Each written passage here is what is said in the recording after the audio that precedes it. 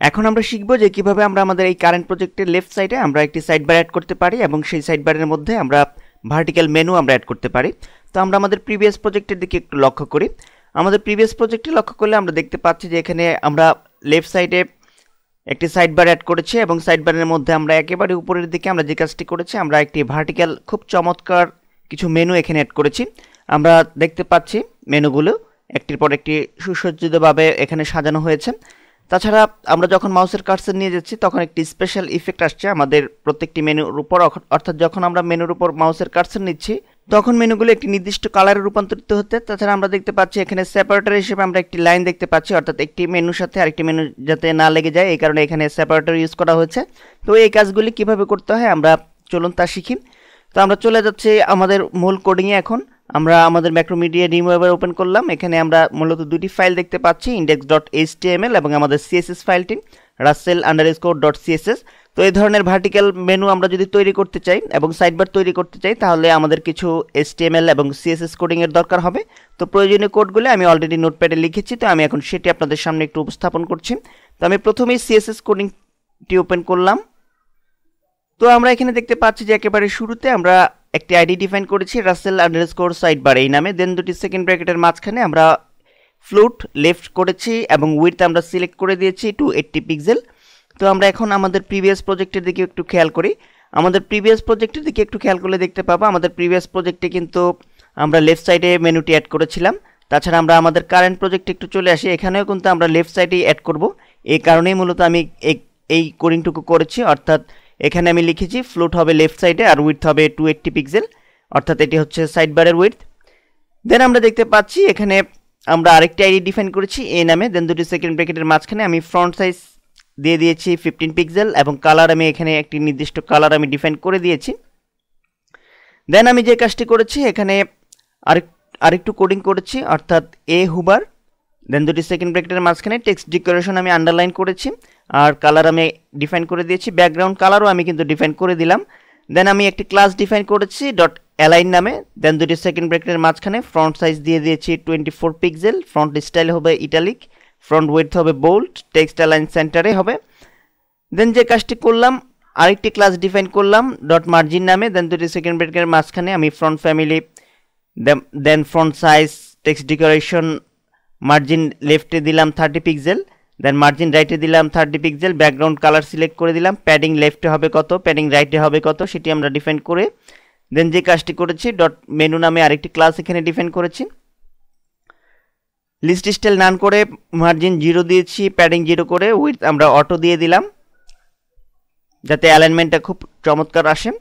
দেন আমরা যে কাজটি করেছি UL menu li then padding আমরা এখানে জিরো জিরো ওয়ান পিক্সেল করে দেন পরবর্তীতে জিরো করেছি। এই এই সম্পর্কে আমাদের প্রিভিয়াস লেসনে আলোচনা করা হয়েছে মার্জিন হচ্ছে জিরো উইথ আমরা সিলেক্ট করে দিয়েছি টু সিক্সটি টু পিক্সেল আমরা এখানে লিখেছি UL dot menu li a link then UL dot menu li a visited অর্থাৎ এই কোডিংটুকু আমরা করেছি, অর্থাৎ আমাদের মেনুর সাথে কোনো লিঙ্ক অবস্থায় থাকলে সেটির কালার কি হবে? তাছাড়া আমরা সেই মেনুটিতে ক্লিক করলে সেই লিঙ্কটিতে যদি ভিজিট করি, তাহলে আমরা যে কালারটি দেখতে পাবো সেটি।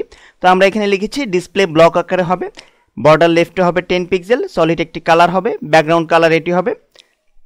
দেন আমরা যে কাজটি করেছি, আরেকটি কালার এখানে ইউজ করে দেন টেক্সট ডেকোরেশন নান করে প্যাডিং আমরা ফাইভ পিক্সেল এবং টেন পিক্সেল নির্বাচন করে দিয়ে আমরা এই কোডিংটুকু শেষ করলাম। দেন আমরা যে কাজটি করেছি UL dot menu li a hover.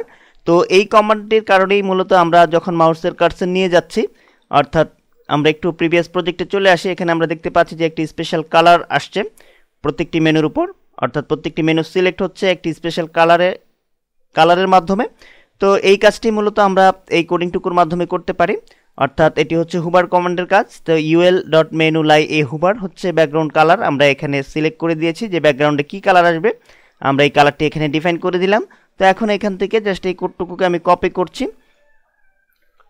Copy করে আমি চলে যাচ্ছি আমার মূল রিমুভারের Rasel underscore style dot CSS ফাইলে দেন এখানে আমরা প্রিভিয়াস যে মেনুর জন্য কোডিং করেছিলাম, এই কোডিংয়ের শেষে আমরা জাস্ট পেস্ট করে দিচ্ছি।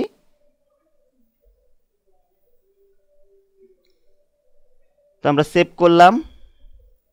আমাদের সেভিং কমপ্লিট তো এখন আমরা ইন্ডেক্স ডট এইচটিএমএল ফাইলে আমরা কিছু কোডিং অ্যাড করব।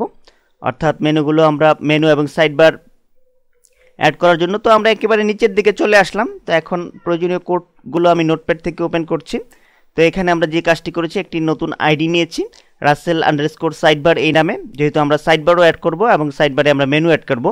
দেন আমরা একটি ক্লাস ঘোষণা করেছি যে content underscore box underscore wrapper এই নামে। দেন আরেকটি ক্লাস কন্টেন্ট আন্ডারস্কোর বক্স এই নামে। দেন আমরা একটি নতুন ডিভ নিয়েছি এ নামে। ডিভ আইডি এ দেন আমরা যে কাজটি করেছি, আমরা কিছু কোডিং করেছি। এগুলো হচ্ছে মেনুর জন্য, অর্থাৎ মেনু তৈরির জন্য মূল কোডিং হচ্ছে হচ্ছে এতটুকু। অর্থাৎ এই কোডিংটুকুর মাধ্যমে আমরা মূলত মেনুগুলো তৈরি করতে পারব। এখানে জাস্ট আমরা একটি ক্লাস ডিফাইন করেছি ইউএল ক্লাস অর্থাৎ ইউএল ক্লাস হচ্ছে মেনু দেন আমরা যে কাজটি করেছি, প্রত্যেকটি মেনু আমরা যে যে মেনু ক্রিয়েট করতে চাই সেসব মেনুর জন্য এই কোডিংটুকু করেছি, অর্থাৎ হোম মেনুর জন্য এই কোডিংটুকু আর এখানে হ্যাশ সিম্বল দিয়ে আমি মূলত লিঙ্ক করিয়েছি ভার্চুয়াল লিঙ্ক আপনারা ইচ্ছা করলে এখানে যে কোনো পেজ পেজের নাম বা যে কোনো ওয়েবসাইটের অ্যাড্রেসও দিয়ে দিতে পারেন আপনাদের সুবিধা অনুযায়ী।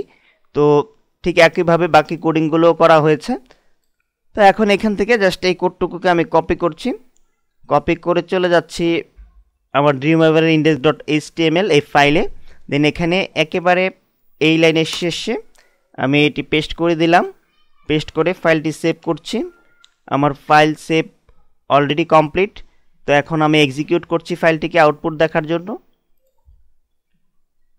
তো আমরা দেখতে পাচ্ছি যে আমরা সাকসেসফুলভাবে আমাদের এই কারেন্ট প্রজেক্টটিতে আমরা লেফট সাইডে একটি সাইড বার এবং আমরা মেনু অ্যাড করতে সক্ষম হয়েছি, অর্থাৎ আমরা ভার্টিক্যাল মেনু অ্যাড করতে সক্ষম হয়েছি। আমরা দেখতে পাচ্ছি যে মাউসের কার্সন নিয়ে গেলে ব্যাকগ্রাউন্ডে একটি স্পেশাল ইফেক্ট চলে আসছে। তো আমরা এখানে যদি চাই যে আরও কিছু মেনু অ্যাড করতে সেটি আমরা করে নিতে পারব। জাস্ট আমাদের কোডিং একটু চেঞ্জ করলেই হবে। তো আমরা এখান থেকে জাস্ট এই লিঙ্কটুকু কপি করছি। কপি করে আমরা একটি স্পেস দিলাম। স্পেস দিয়ে আমরা যদি এই লাইনটি পেস্ট করে দিই পেস্ট করে এখানে জাস্ট আমরা মেনুর নাম একটু চেঞ্জ করে দিলেই হবে। তো এখানে আমরা সাপোজ দিয়ে দিচ্ছি।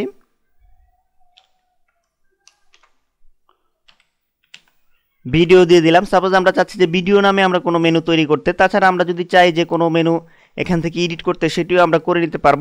তো আমরা এখানে সেভ করলাম ফাইলটি সেভ করে পুনরায় এক্সিকিউট করছি।